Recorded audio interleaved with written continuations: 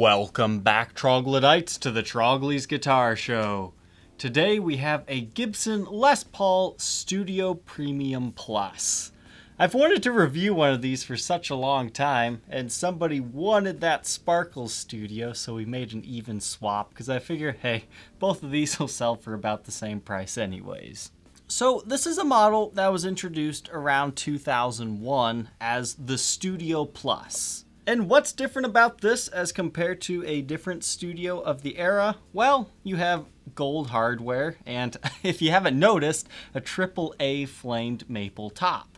Obviously, some are nicer than others. This is one of the nicer ones I've seen. But on top of that, they have the exposed maple cap, which makes it look like they have binding. Most of them, depending on which finish you have, will have cream plastics. Some of them will also have black. Stock, they'll have the 490R, 498T pickups, just like the regular Studio. And Gibson advertises these as a 59 neck profile. They were initially available in Desert Burst, Trans Red, and Trans Black finishes. However, 2006 comes along, they renamed the Studio Plus to the Studio Premium Plus, and then they added some additional finishes. So they kicked Desert Burst to the curb because apparently nobody liked it, and it is one of the worst selling ones on the used market.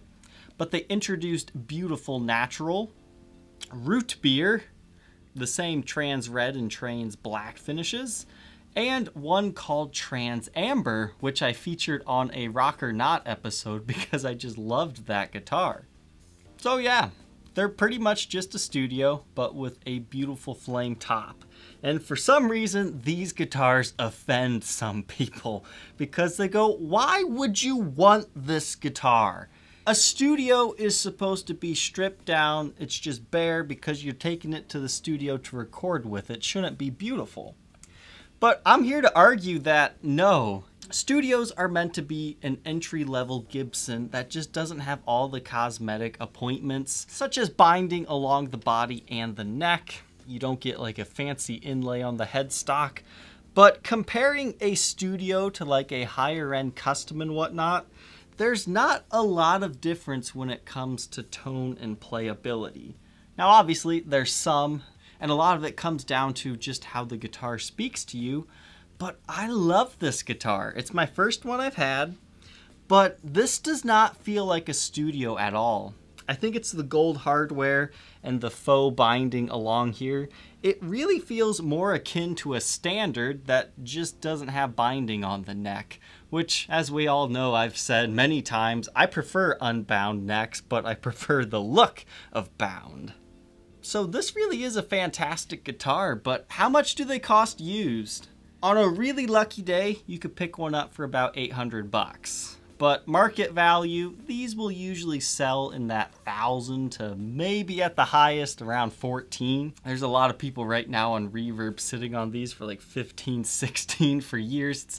Eh, I mean, if you have a really nice top, it's mint condition, you might be able to find a buyer at that. But if you've got a thousand to 1200 bucks and you want a really nice playing guitar that is fancy but doesn't have the binding, these are definitely a great option. I'm really happy to have gotten to try this one out. But one more story before we rip this one apart. Is it a good idea to ship guitars in sub-zero temperatures? No, no it's not.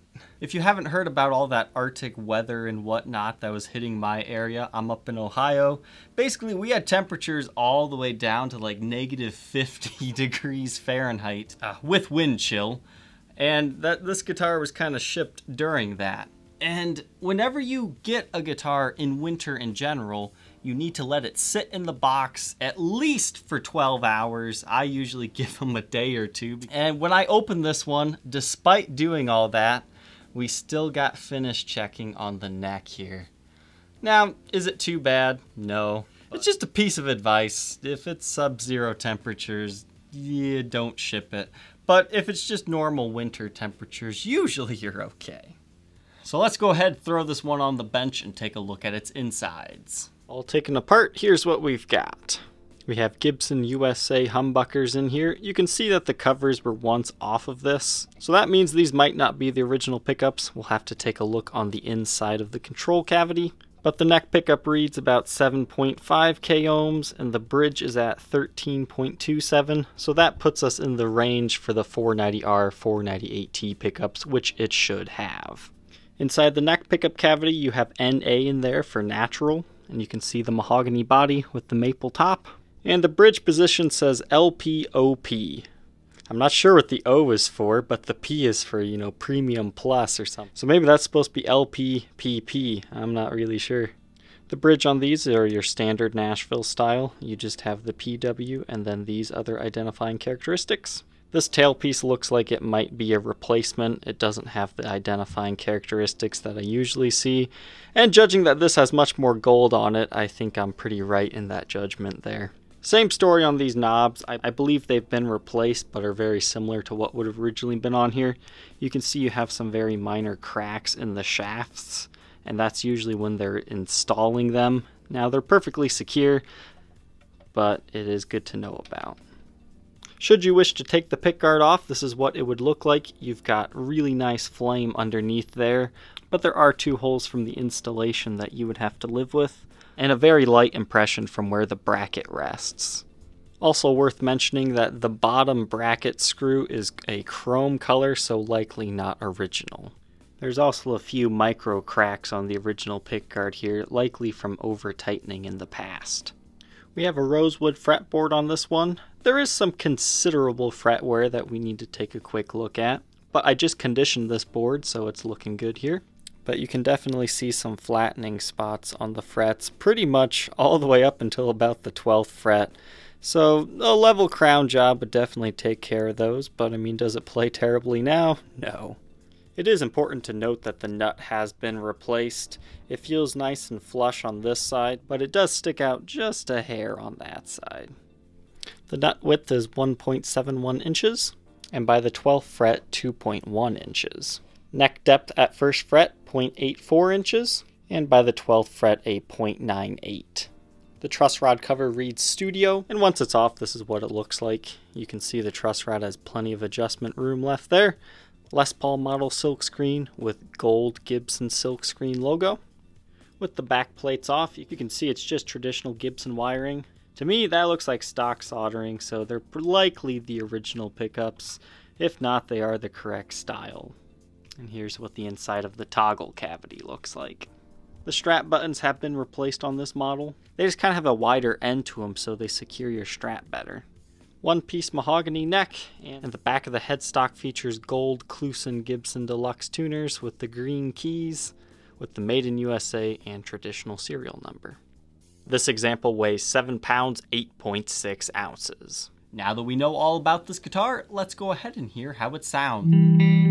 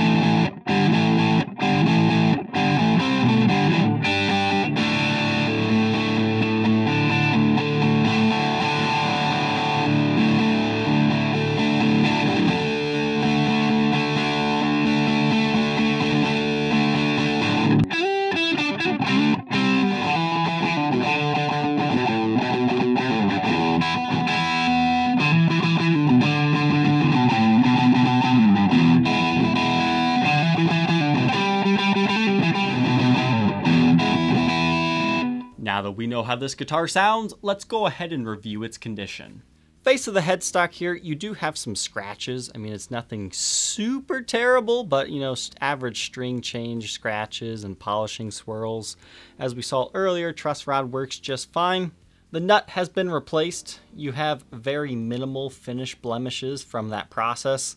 Sometimes it can be a lot worse than that but your fretboard was just cleaned and conditioned. You do have fret wear. Is it a little bit fret buzzy? A little bit. I mean, we'll listen to it amplified here.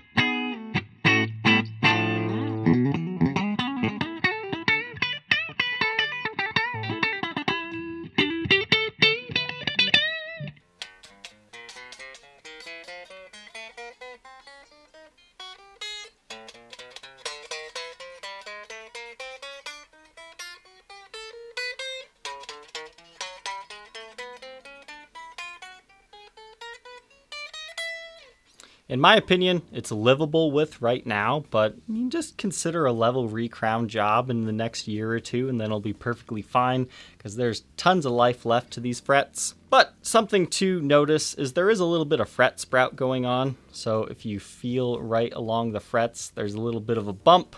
Now, depending on what humidity your area is in, you might not notice that. The face of the guitar, luckily there's like no finish checking necessarily on the top there's just one tiny little one and it's like right here. It's just a small line. I'm hoping that's showing up. Because it goes from there and then it just kind of stems down a little bit right there. But that's the only one that I saw on the top. Besides that you just have some light nicks and dings. Just as a fun fact about this one, this is the poster child for the Reverb price guide. It's this exact guitar. As we talked about earlier, the pickup covers have either been replaced or were taken off at one point in time. The neck pickup has a good amount of gold on it, but you've got some wear along the edges to the bridge pickup, and the bridge itself is very worn there. This is currently set up as a top wrap that makes doing bends a little bit easier, but you can easily change that if you don't prefer that. And again, there are some light cracks in the tops of these knobs. Back of the headstock serial number 02607478, made in USA. You can see you've got a pretty gnarly ding right here. It looks like you might have lost a little bit of wood, but as far as the top of the headstock goes, that's definitely the worst area of wear. Down here, there's no neck breaks or cracks or repairs or anything, but it looks like this dinged up against something or the lacquer just naturally had like a little air pocket in it. You can see it right there. And then there's also a few higher up on the neck. And obviously you have that finish checking that I was talking about, mainly in the middle of the neck. Um, there's a little bit by the nut, but none of this is structural. Honestly, I think it looks kind of cool, but you know, your opinions might vary with finish checking. So when I opened it up, I, I sent a message to the guy. It's like, yeah, we've got finish checking on the neck. Was it there before? I'm not. I'm not worried about it because you know at least it wasn't all over the top or in inopportune places like right at the neck break area. It's just natural weather checking there. Back of the instrument, it's definitely been played. You've got some light impressions and buckle swirls. We'll shine the light over it here. So this is just one if you want a super beautiful guitar that you don't necessarily have to be scared to play. Take a quick look around the edges here. Again, it looks like you have binding, but you know, that's just the maple cap on top. Again, the strap buttons have been replaced. Under black light, we can see we have a nice even glow here on the front. Uh, nothing really major to go over. Sometimes during photos, and I don't know if you saw this throughout the video, this spot appears darker. I thought maybe that's because some sweat had absorbed into it, but looking under black light, it doesn't look like that's the case. I think that's just part of the flame grain. Backside of the instrument, you can see some of that sweat absorption I was, I was just talking about right there, but everything else is looking good there. And along the edges, not really seeing any stand rash or anything that we can sometimes see. The neck glows a little bit more, once again, because of the finish absorbing sweat. And the headstock is also looking good here, as does the face. So everything is passing the blacklight test on this one. Sadly, somewhere along the way, this guitar lost its original case, but you have an aftermarket, kinda cheapy, but not too cheapy of a case. Um, you've got one, two, three, and a fourth back latch on this one. It's kind of a flat top. I mean, it's fairly sturdy. It's not the worst aftermarket case I've seen, but not the best. The inside has a nice dark gray color to it. It's actually got some decent heel support right there. And some decent padding there. I was expecting a lot worse. Uh, there is some keys in there, single neck rest, and this kind of acts as your second one. And it's got some decent padding, so a case is a case in this case. As far as the fit goes, up and down, you've got a little bit of motion, but nothing I would really worry about. And left to right, that's pretty snug, so we're all right there. If you think you might be interested in being the next owner of this Gibson Les Paul Studio Premium Plus and a beautiful natural finish with flame top, feel free to check out that link in the description that will take you to the Reverb for sale ad. Thank you, troglodytes, for watching. Don't forget to like, comment, and subscribe, and we will see you tomorrow on the next episode. Take care.